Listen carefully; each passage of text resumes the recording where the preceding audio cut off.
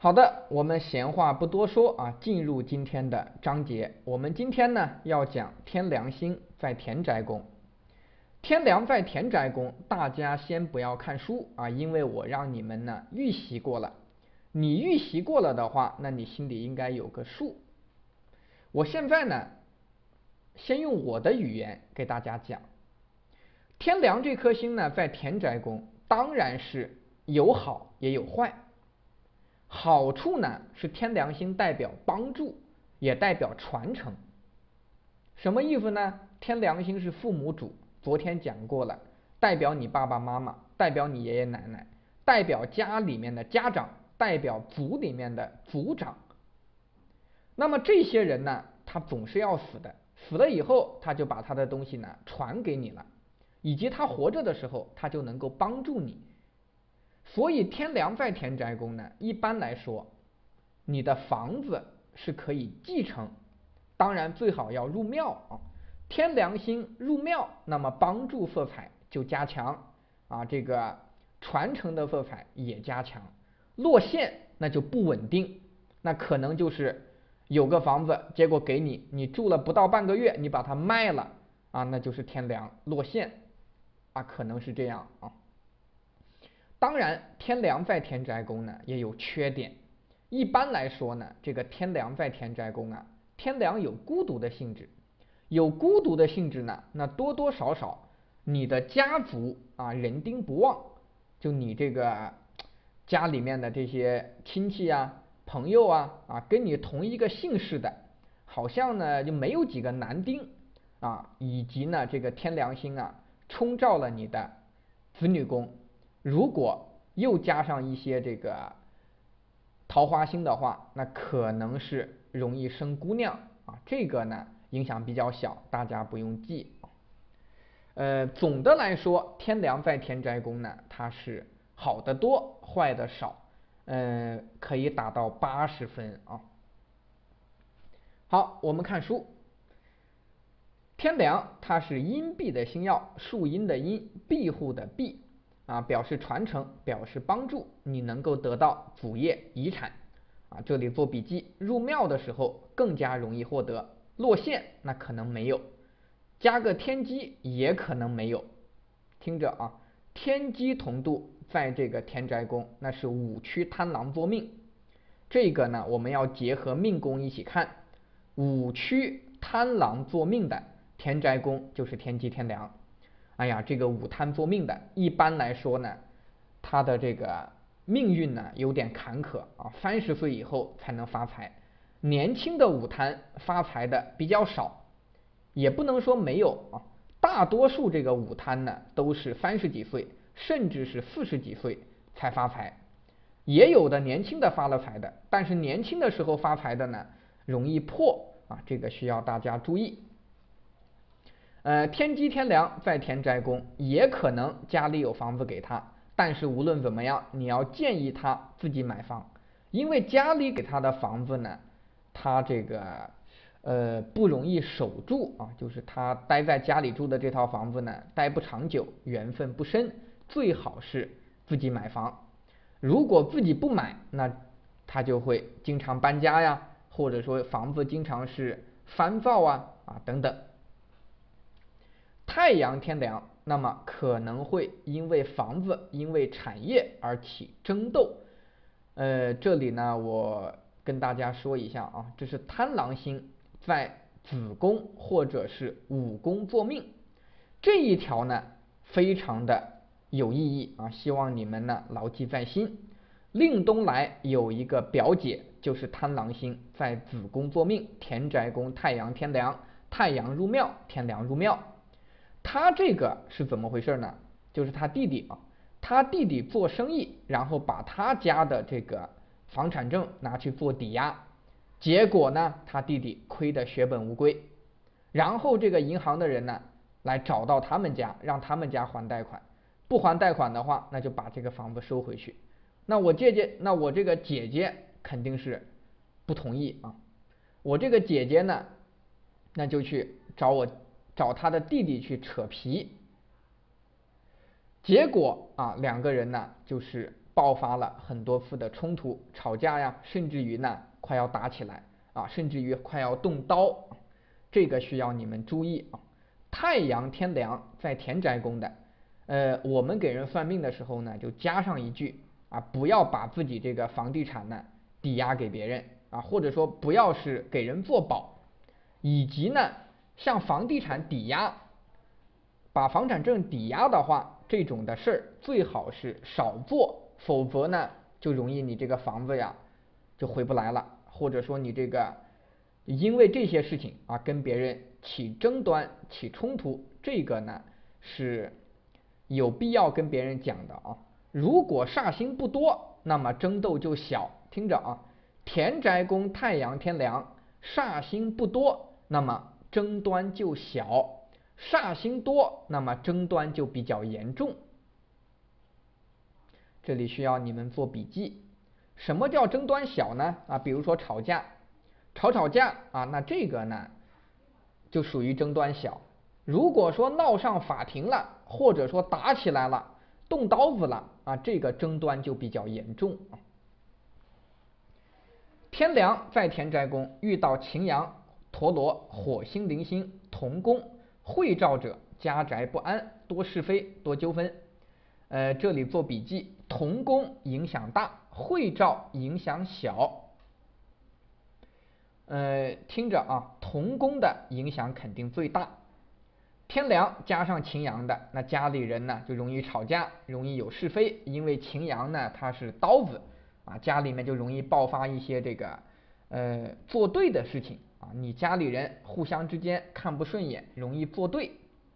那么田宅宫什么星比较好呢？啊，文昌文曲，家里人呢感情和谐，相处和睦啊，其乐融融。呃，我弟弟呢，那谈了个对象，就是这个破军坐命的，破军坐命，然后他的田宅宫呢，太阳太阴，文昌文曲，父母宫呢还是这个天同星，又加上吉星，哎呀，他找的这个对象啊，跟他爸爸妈妈感情非常深厚，啊，从来不红脸，而且他家里这个情况啊，家里面这些人住在一起，几乎是不吵架。啊，他父亲呢有什么事儿都让着他母亲，他母亲呢也尊重他父亲，两个人呢就是过得是非常的舒服。这是因为田宅宫有吉星啊，日月又加昌曲，也没有见到煞星的缘故。如果你田宅宫里面有擎羊，有这个火星，有这个天行啊，煞星比较多的，就家宅不安，容易吵架。容易有矛盾，容易出纠纷，甚至于有家庭暴力。做笔记啊。呃，你们看盘看多了，应该就知道了啊。像这个擎羊啊、天行啊、火星啊、铃星啊啊，天宅宫里面煞星多的话，那就容易有家庭暴力啊，父母之间打架，或者说是其他的这个打架的一些情况啊。流年呢也这样断，如果流年的田宅宫有这种擎羊啊、化忌呀、煞星多呀，那也是一样啊，家里呢会有打架、吵架啊，种种是非。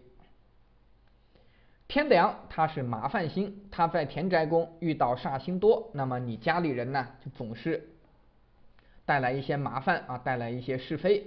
又遇到化忌，那也是麻烦变大，容易吵架，容易。有这个不和睦的情况，空劫同度在四害宫申宫者，那是飘荡啊，这个就没有什么房子了，很难有房子啊。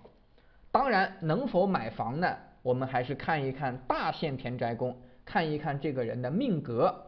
如果他的命格比较高，大限又走得好，那么这个人呢，仍然可以购置房产。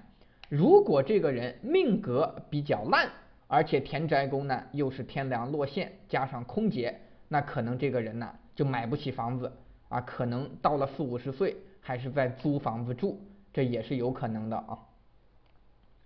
田宅宫天梁天马的也表示飘荡啊，这个人呢容易换地方住啊，他呢跟祖地缘分浅，比如说他是北京人，出生在北京，那么他呢这个人呢。一生之中他会去很多地方居住，他肯定不会在北京安安稳稳的啊过一辈子。一般来说，天马在田宅宫的都是适合在外地安家落户，因为天马代表变动啊，代表一个奔走。天梁天马那叫两马飘荡啊，它会往外面去。大限流年也是一样的断。听课呢要认真啊，你们，我希望大家呢，你跟我学这么久，你如果说学不会的话，我觉得问题肯定是出在你们自己身上，因为我是很用心的去教了，而且这些知识点呢。该背的东西是真的是要背的啊！如果说你不想背的话，你起码得把跟你自己有关的给背下来。比如你是贪狼坐命的，你的田宅宫呢是天梁，那么我讲到这儿，你就要竖起耳朵认真听，最起码先把你自己的盘大致呢摸清楚。王清之评注：天梁呢，它是树阴的阴。它在田宅宫呢，基本性质不错啊，八十分，能够有庇荫，但是呢，不一定是继承。呃，解释一下啊，一般来说，天梁入庙或者说是这个天梁星呢，在旺宫的话，它是可以有继承的啊。呃，比如自己参与家族生意啊，成为公司的一份子，但是公司的这个权利掌握在。兄弟的手上，啊，或者呢自己不能继承产业，但是可以居住在主祖宅中啊，衣食无忧。他说的呢也有道理啊，我希望大家呢，呃，不要搞这种什么铁断啊。天梁在田宅宫的，有的时候他是肯定有房产继承，比如说武功的天梁入庙，武功这个天梁入庙呢。就算没有房子给他，他父母也会出钱去帮他，或者是长辈呢对他有这个帮助性，呃，需要大家做一下笔记啊。因为天梁呢，它毕竟不能说是百分之百的是一个传承，但是它多少带有帮助的性质。这个五贪做命的，根据我个人的观察，我身边这些五区贪狼的以及贪狼做命的。嗯，有这些情况，比如我表姐，她呢是嫁给她老公的，然后她老公的这个房子呢，自然就是她的。这个也属于一种天梁入庙啊，她田宅宫呢，太阳入庙，天梁入庙啊，就住进了她老公买的这个房子，不需要她自己买啊。今年呢，她又新买了一套房啊，据说是已经交钱了。那新买的这套房呢，当然也是她老公出钱买的。啊，跟她自己没什么关系啊，她自己呢，每天就是打打麻将啊，就是过过生活啊，过得还是蛮惬意的啊。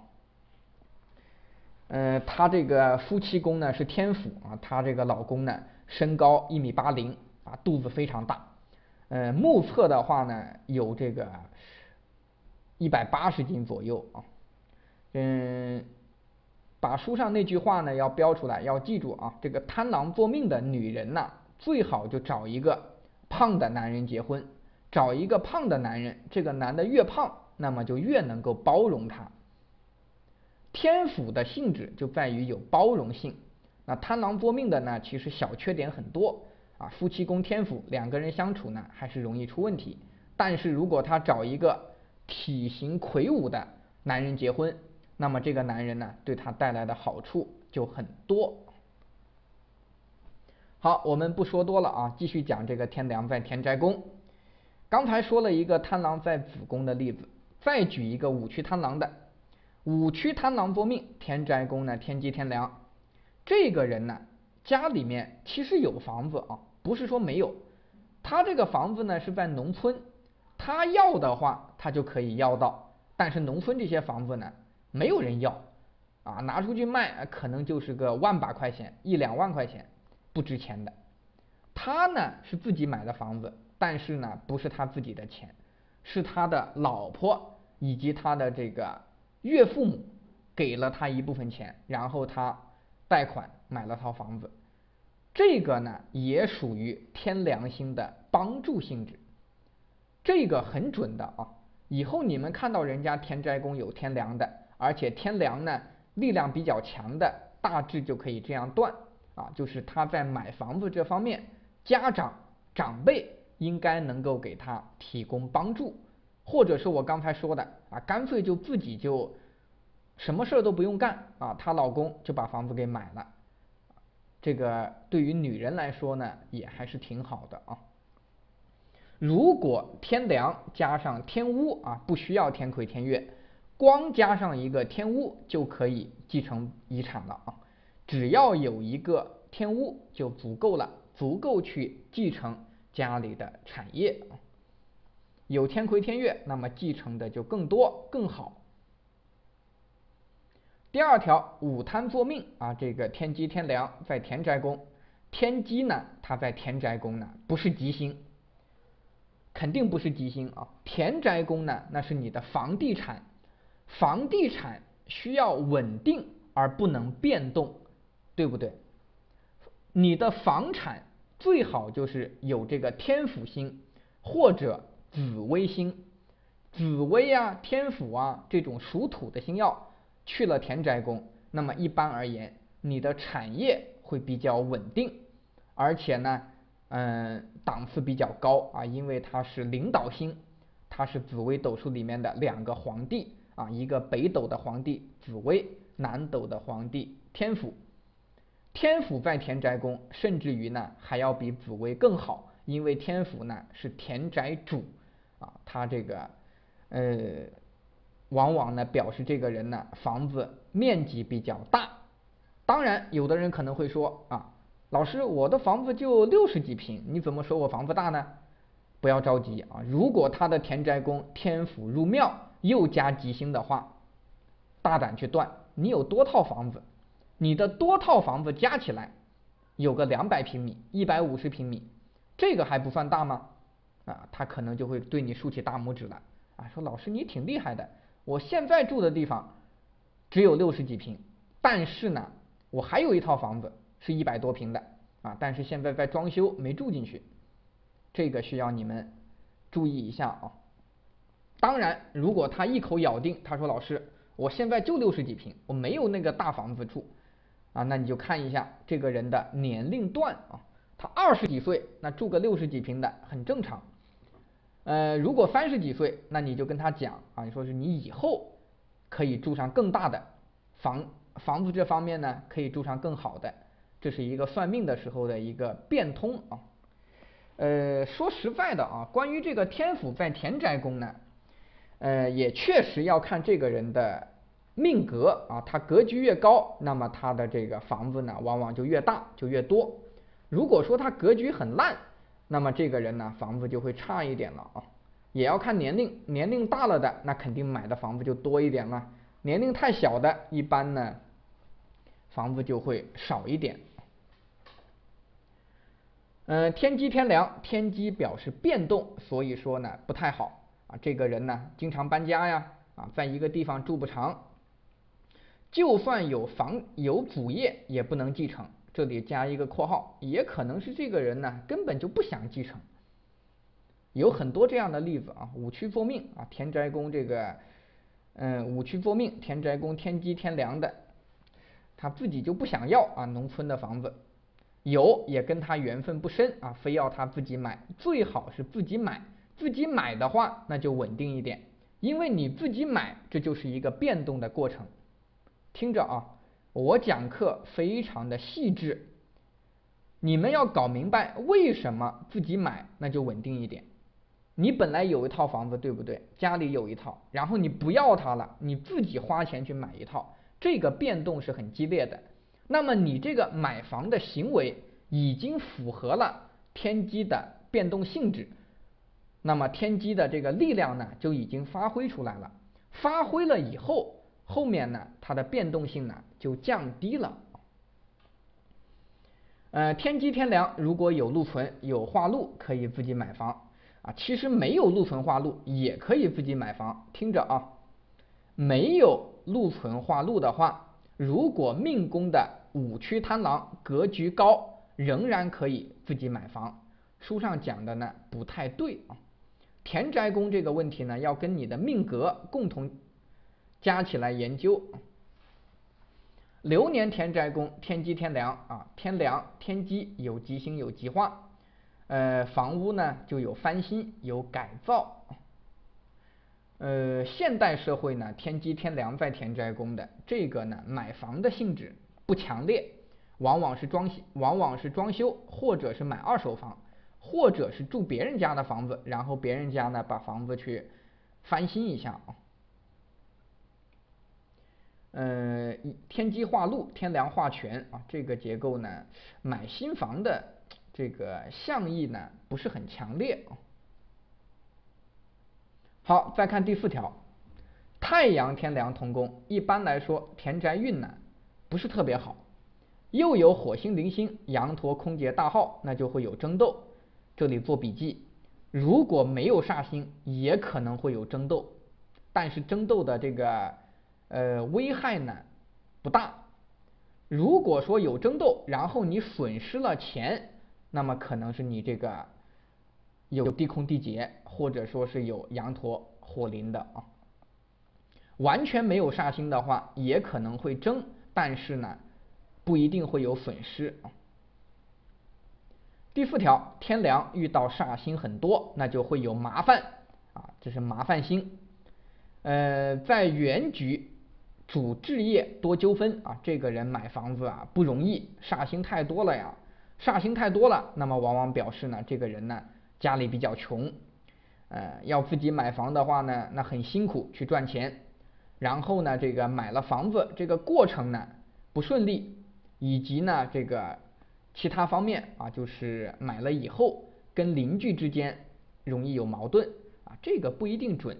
因为现代社会呢，我们大多数人他都是住在这个小区里面，小区这个地方呢，呃，本来啊邻居跟邻居之间很少走动，感情冷漠，所以说呢，呃，天斋宫这个遇到煞星多的，往往就表现在一个孤独上面，就你跟你这个邻居之间呢，倒不是说是有矛盾，而是说感情非常冷漠。啊或者说跟他呢有点小纠纷啊，也有可能。呃，流年逢之呢不宜置业，但是不包括炒卖啊。这个我解释一下啊，流年的田宅宫天梁遇到煞星很多。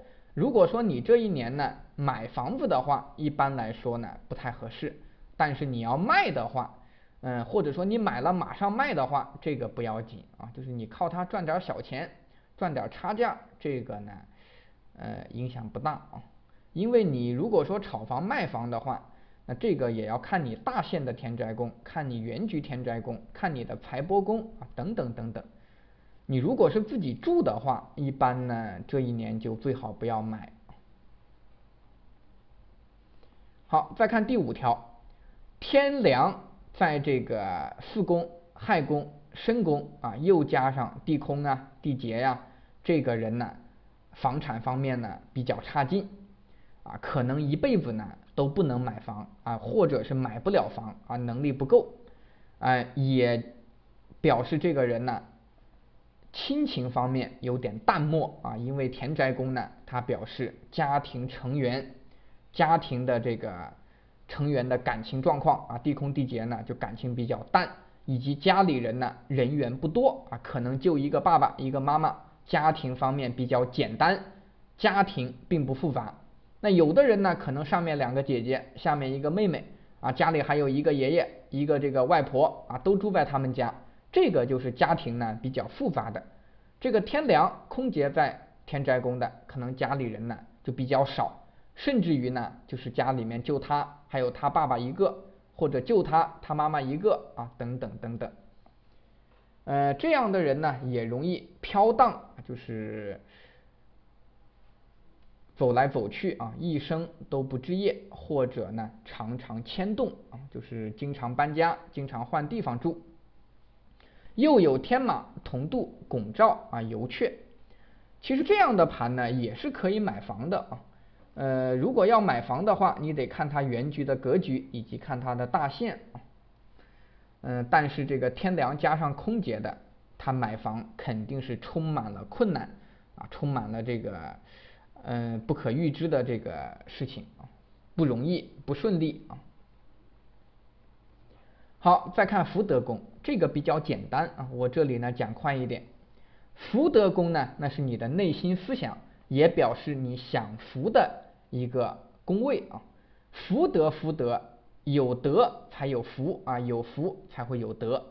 如果一个人从小就不享福，从小呢，他父亲就把他丢弃了，母亲呢改嫁啊也不要他了，这个人从小就不享福，那么他呢？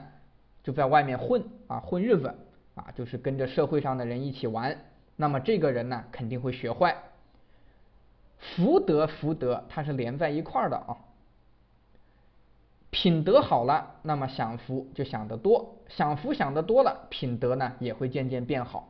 我相信啊，如果一个人啊，他是不缺钱花，然后他也家庭呢比较幸福的话，他是不会做坏事的啊。福德宫呢有天梁，一般来说那是好处大过坏处。好处呢是这个人呢善于思考，因为这个天梁呢，它也带有一个思维的性质，还是一个比较聪明的心。呃，它带有一点清贵的性质，然后呢，它比较讲原则。总的来说，这颗星还是有一点聪明，以及呢，它会会照太阴呐、太阳啊、天机呀。啊，这些星呢都不是愚蠢的星耀。天梁在福德宫入庙啊，我们看书，当然它也有缺点。天良的缺点呢，就是容易孤独，以及呢有些时候有点古板啊，以及呢这个跟宗教哲学呢挂点钩啊。跟宗教哲学挂钩呢，呃，我个人觉得呢不能算是好事儿啊。一个人呢信不信教，你说他信教就是好的吗？啊，信佛你觉得就是好的吗？我觉得不能说它好，也不能说它不好啊。好，我们看书啊。嗯，天良在福德宫入庙，因为这个人呢，一般来说还算是比较讲原则、有底线，嗯，心理素质还是过硬的啊，心理素质不错，内心安宁而且有享受。太阳天梁同宫，又加吉星很多，福厚禄重，能富能贵，这个需要大家画圈，这一条非常重要。我现在跟你们讲一下啊，福德宫其实也能从一个侧面看出这个人的能力高低。这个呢，我之前在实战班讲过，在进阶班没有讲，今天就额外讲一下啊。福德宫能够看出一个人的能力，啊，不对啊，这句话应该换个说法。福德宫它会影响一个人的能力，什么意思呢？比如说你这个福德宫紫微入庙，又加左辅右弼的啊，三方扶正左辅右弼的，那么你这个人呢就有领导才能。你这个人福德宫五曲化禄。又加吉星的，那么你这个人会赚钱，一个意思啊。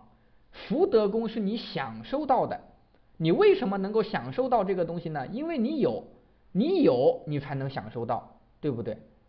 你的福德宫紫薇又加左辅右弼，这是一个皇帝在那里，又有左右手，有人帮你，你能够控制他，你能够指挥他，那说明你本人呢也是有领导才能。我们看太阳天梁啊，太阳天梁在这个福德宫，太阳星呢，它是有远见，而且太阳星是领导，它是白天的主星，它也是主宰啊，它是有一定的这个领导才能的。而天梁呢，那是家长，是族长啊，也是领导星，又加左辅右弼啊，魁月等等吉星，那么这个人呢，有才能，听着啊。一个人有没有才能呢？福德宫也有影响。福德宫如果说有吉星，有这种代表才干的星耀，听着啊，有这种代表才干、代表智慧、代表才能的星耀，都能够增强一个人的能力。比如太阳座命，听着啊，我讲课可能有的时候有点跳跃，需要你们基础牢固。太阳坐命，福德宫是天机，那么福德宫的天机也能够让这个太阳坐命的人呢变得聪明一些。太阳天梁在福德宫，那这个人呢是天同巨门作命，天同巨门作命呢，这个格局呢其实总的来说呢比较一般啊，因为天同巨门作命呢，你们可以看一下啊，它的这个组合呢还是比较普通的啊，三方四正。呃，如果我没有记错的话，那官禄宫呢是天机，迁移宫呢是空的，财帛宫呢也是空的。哎呀，这个就有点弱啊！这财帛宫空了，迁移宫也空了啊！你的官禄宫就一个天机，你这个星耀太少了，星耀太少，你也有可能富贵。但是，首先有一条，你的格局比较弱，格局弱并不是说就不能富贵，格局弱呢是说你这个人呢有点不好掌控形势。什么意思呢？就你的命宫的三方四正星耀太少了，那么你的紫微啊、你的天府啊、你的这个太阳太阴呢，在别的地方，在别的这个宫位，它就对你这个自己的三方四正呢，有一种威胁，有一种掣肘。就你在把握形势这方面有点困难，走好运的话，那你当然能够发展起来；如果有一天你不走好运了，那就掉下去了。这也是我说的天同巨门呢，等于是井水，有涨有跌，因为他自己无法自己，他不能控制自己的高度。下雨了，它就往上涨，那是自然在让它涨，这个天道在让它去涨水。如果说干旱了，那它这个井里的水呢就往下掉，它控制不了，就无法掌控局势。但是它也可能富贵啊，这口井。那可能大家呢都需要从井里面打水啊，这个整个村子就这一口井，那么这口井呢地位就很高啊，可能晚上还有人守在旁边啊，就是阻止别人去偷水喝的都有。那这个水井呢就有了地位啊，也可能呢会有富裕啊，就是假设一下啊，要有一定的联想能力，听着啊，要有一定的联想的这个能力。以及呢，把自己的基础呢恶补一下。很多同学呢基础不牢固的，可能我讲到这儿就听不懂啊。福德宫能够增强你的能力，也看你享福的一个宫位。所以说呢，如果福德宫太阳天梁加上吉星很多，这个人呢有领导才能，以及呢有管理才能，以及呢比较聪明啊，有理解能力，善解人意。学习速度快啊，等等等等。天同天梁在福德宫，安定啊，内心安稳，而且呢能享福，很简单，因为天同是福星。天机同宫啊，这个劳碌，而且呢劳神，这个是巨门太阳坐命啊。这个劳心劳神呢，跟命宫的巨门有关系，跟这个福德宫天机天梁呢关系不大，做笔记啊。这个劳心劳神的评价来源于命宫的巨门太阳，巨门太阳做命，那么福德宫就是天机和天良心啊。因为命宫这个巨门呢，我都跟你们说过的啊，命宫是巨门的这个人呢，他的人生肯定是有点挫折，有点坎坷，以及人生呢劳心劳力啊，容易劳神。如果有化忌啊，天梁在福德宫遇到化忌，那么福气减少，烦恼增加，麻烦增加。很简单啊，天梁是麻烦星嘛，加上一个化忌，哎呦，你刚想休息，结果人家打个电话过来，说是有个手术让你去做啊，你不得不去做呀。你不做手术，那病人就死掉了啊，你觉都不能睡，那就衣服穿起来，买瓶红牛，然后呢，就把自己这个精神呐振奋一下。就去给人做手术了，这都是一个福德宫呢，福气浅薄的意思啊。什么样的人有福呢？啊，就这个人不想工作了，那就躺着睡觉，然后呢，还有人给他买饭吃，还有人养着他啊，这种人呢，那就比较有福气。呃，陀螺同度自寻烦恼，而且自己找事啊，没事找事，总是有点杞人忧天。这是陀螺在福德宫的一个特点啊，他总是担心，总是没有安全感。呃，你也可以这样理解啊，陀螺呢，它是一个旋转的东西，它一直在转啊，它总得给自己找点事情做，喜欢忙起来啊，不喜欢这个安稳啊。这个陀螺在福德宫呢，有些时候呢，你可以把它理解为吉星，因为这个陀螺呢，它有一点智谋的色彩啊，有一点的智谋的色彩，同时呢，这个陀螺，大家想一下。你这个人闲不下来，总得想找点事情做，那么你一直在做事情，就容易获得成功。当然，煞星不能太多，光有一个陀螺我还可以接受。你既有陀螺，又有火星，又有铃星，又有这个化忌，那么你这个福德宫呢就破掉了啊，太差了啊！福德宫遇到的煞星越多，那么福气就越浅薄。也越容易惹麻烦啊，多是非，不安定，呃，想要睡觉啊，睡不了，人家来找茬啊，等等。天梁在福德宫入庙的人，这个人呢，嗯，安乐啊，生活安乐稳定，有这个闲暇时间啊，平时呢比较悠闲，有名士有名士风趣，随便啊，不紧凑啊，他不会着急，乐天派啊，有点懒，不喜欢动，这个都关注一下啊。天梁落陷，那么就是懒惰啊，拖延，做事情慢啊，容易延误正事。天梁在四害宫、申宫啊，这是落陷，又加天马呀、空劫呀、大号啊，这个人呢，内心浮荡啊，奔走，内心不安宁，这些都比较简单啊。天梁在福德宫，基本意思呢是安定、享受。但是，一般来说，天梁是精神享受啊，跟这个物质呢关系不大。嗯，自得其乐，不必物质做基础。第二条，天梁遇到吉星很多啊，辅弼呀、魁月呀啊，那这个人呢，能力也会增加。听清楚啊，福德宫也加强你的能力，加强你的才能。呃，福气比较厚，见到禄存化禄，那这个人呢？比较有钱，但是不一定会发大财。想要看他会不会发大财呢？是否有大的富贵，还是看看命宫的三方四正。这一点呢，王先生说的对。第三条，天同天梁，那天同呢，它是福星，所以说福德宫天同天梁呢，一般啊都是主吉的啊。这是巨门星在子午坐命啊，这是时钟隐喻格。时中隐喻巨门在子午坐命，天福德宫呢就天同天梁，这个组合呢还是挺不错的啊。呃，没有煞星，那这个人内心安定啊，烦恼比较少；有吉星，那么心情快乐，很自在。不过如果天同化忌，那么享受就不多了。天同化忌啊，又有这些星，可能是弱智，这个不用管啊。我们算命一般是遇不到弱智的，因为这份书上呢。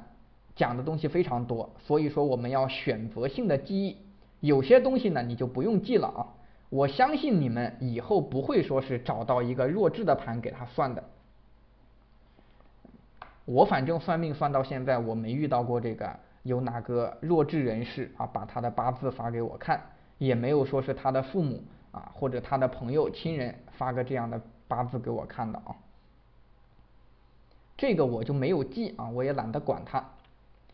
第四条，天机天梁，因为天机呢表示思维，表示心智，呃，所以说这个人呢是精神上的变化啊，劳心劳神啊，也跟他命宫的巨门太阳有关。天机化忌，那这个人呢福气会变浅，烦恼多啊，想得多。天机呢是思维，天机化忌，那这个人的脑子里面总是在想东西啊，早上起来就开始思考，晚上睡觉还在思考。嗯，王听之解释说是杞人忧天，其实不是啊，有的时候是这个人呢总是在想问题，而他想的问题呢跟杞人忧天呢没有什么关系。第五条，天梁在福德宫，一般来说啊都是一个喜欢悠闲、喜欢安静这样的人，呃有名士的风趣，但是要入庙见吉星才是。如果天梁落陷。啊，或者天梁遇到煞星多，那么会变得懒惰、拖延啊，陀螺同度呢就更加懒。这里面的差距呢，就需要就大家呢就自己分辨一下啊。